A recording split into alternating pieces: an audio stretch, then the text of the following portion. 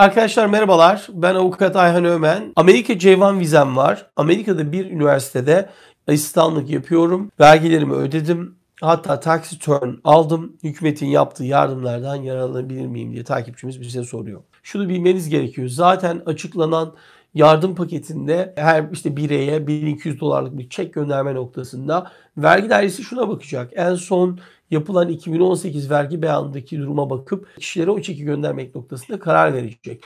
Sizin illa Amerikan vatandaşı olmanız gerekmiyor. İşgal sahibi olmanız gerekmiyor. Sizin var olan o J1 çalışma vizeniz ve sosyal güvenlik numaranızın olmuş olması sizin bundan faydalanmanızı sağlayacak. Özellikle bu konuda bir engel görülmüyor.